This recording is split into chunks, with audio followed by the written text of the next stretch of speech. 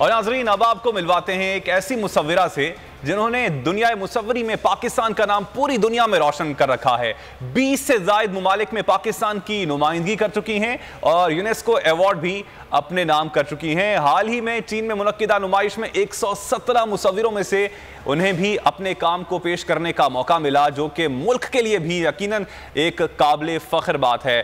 तो इस वक्त हमारे साथ ये मुसविरा मौजूद हैं, फ़ख्र पाकिस्तान सानिया आरिफ। बहुत शुक्रिया सानिया साहिबा, आपके वक्त का। अच्छा सानिया इससे पहले कि मैं अवार्ड्स की बात करूँ, जो नुमाइश में आपकी पेंटिंग्स पेश की गई, उस हवाले से बात करूँ, शौक कैसे पैदा हुआ?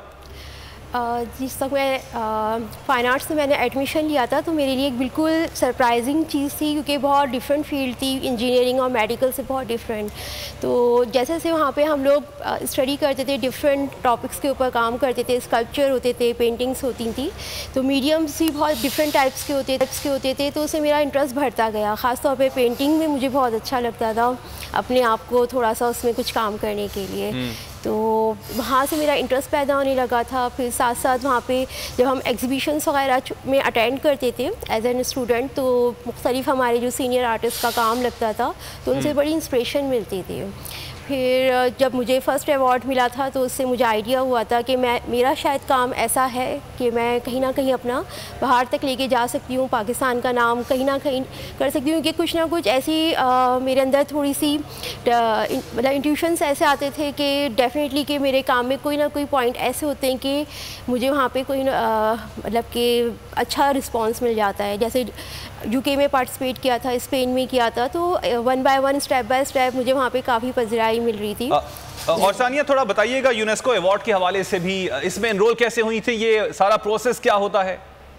को की, हमने एक वर्कशॉप अटेंड की थी, जिसमें हमें 15 डेज़ की वर्कशॉप करनी थी और उसके बाद जो हमने लेक्चर सुने थे, सब कुछ तो उसमें एक टॉपिक था जेंडर इक्वालिटी उसमें हमें वुमेन और मैन दोनों की इक्वालिटी के बारे में बताना था। जो भी हमने लेक्चर उससे क्या ऑब्जर्वेशन हासिल की हमने, क्या हमने उसके बारे में सोचा, अब आपको उसको कैनवस करना है।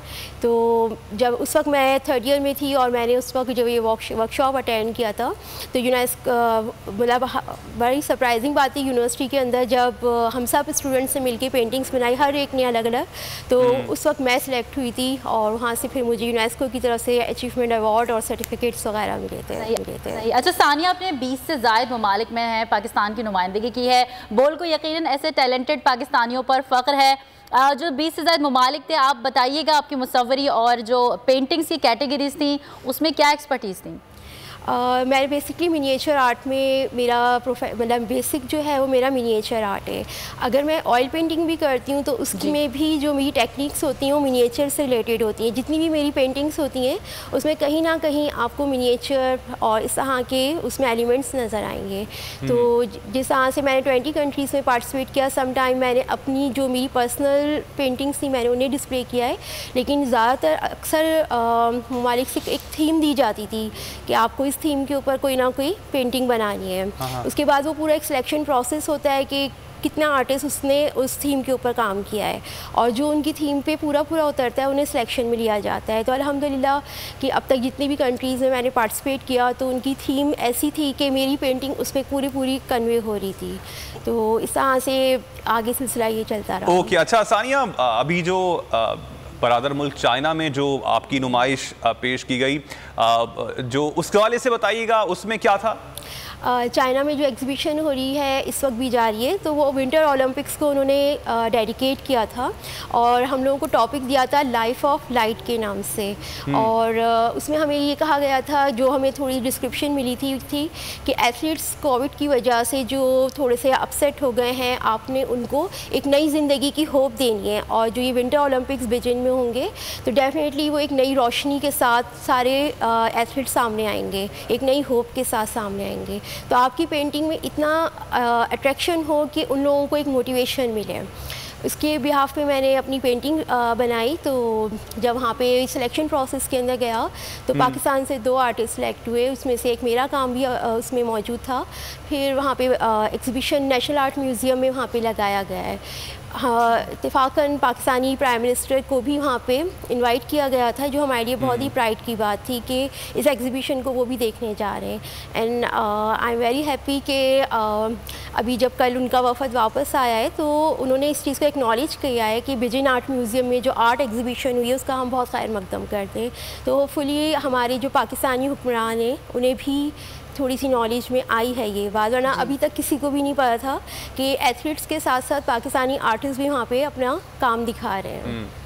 सानिया मुख्तलिफ़ ममालिक में आपने पाकिस्तान का तो नाम रोशन किया है। आर्टिस्ट यकीन आपने पेंटिंग का जो ज़िक्र किया ऑयल पेंटिंग का एक टैलेंट है जो फ़िज़िकल टैलेंट है डिजिटल मीडिया का दौर है। आप क्या समझती हैं उसको किस तरह रिकोगनाइज करवाया जाता है डिजिटल मीडिया पर या पाकिस्तान में किस किस्म के प्लेटफॉर्म्स की ज़रूरत है?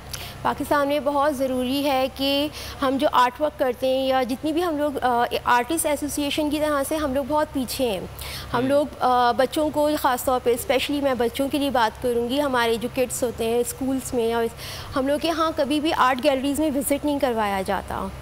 और बेसिक ही हमारी इतनी कमज़ोर होती है कि हम जब प्रोफेशनल फ़ील्ड में आते हैं तो हम बहुत पीछे रह जाते हैं।